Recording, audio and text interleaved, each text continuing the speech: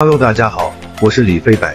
KPL 季后赛揭幕战已经开启，第一场是 QG 迎战杭州老干爹。这场比赛的结果基本都被大家猜中了，QG 四比一轻松赢下老干爹，成功进入八强。从最近的状态来看，QG 的状态明显比老干爹更好。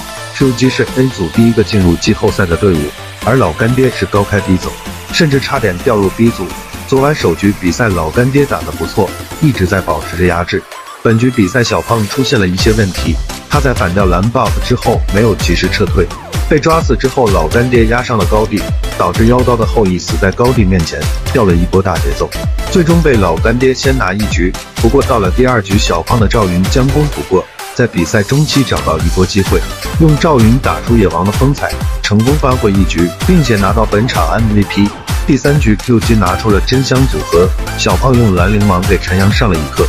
QG 再赢一局，小胖兰陵王又一次拿到 MVP。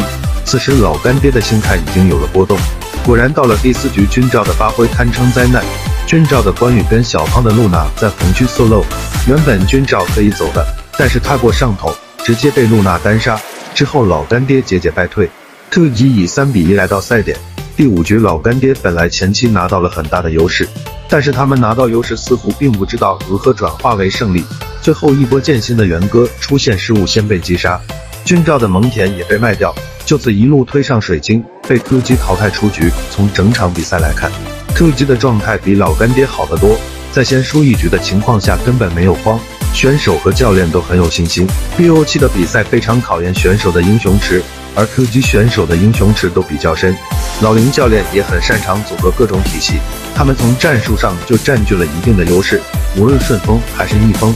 处理的都比老干爹要好，老干爹的问题非常明显，江城依然是最稳的选手，但是江城独木难支，其他选手都有一定的问题。打野陈阳的露娜有比较大的问题，和职业赛场的露娜有明显差距，哪怕放在巅峰赛或许都不够突出。